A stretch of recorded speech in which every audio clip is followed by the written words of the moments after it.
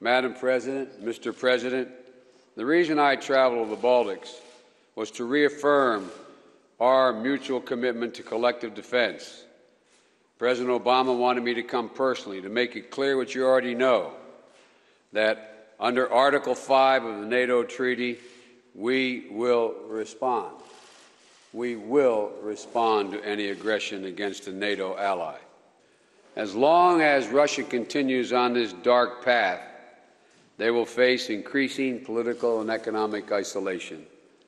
There are those who say that this action shows the old rules still apply.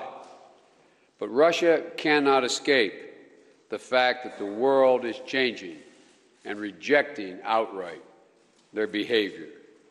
Global markets and international community will and should bet in the long run on countries that reject aggression and corruption, embrace openness, and live up to their obligations.